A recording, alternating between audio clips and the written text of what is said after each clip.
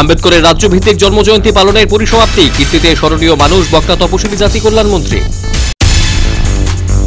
রাজ্যে যথাযোগ্য মর্যাদায় শ্রমিক দিবস পালিত সিটুর দপ্তরে মে দিবস উদযাপন। দেশ ও রাজ্যে সংখ্যালঘুদের উন্নয়নের খতিয়ান, সংখ্যালঘু মোর্চার কেন্দ্রীয় নেতৃত্বে সন্তুষ্টি প্রকাশ। মোদীর প্রধানমন্ত্রী হিসেবে নবছর পূর্তিতে একমাসব্যাপী রাজ্যে নানা কর্মসূচি বিজেপির। দু বিধানসভা নির্বাচন সন্ত্রাসমুক্ত ছিল না, বক্তা মানিক সরকার, অমিত রক্ষিতের পাল্টা কটাক্ষ।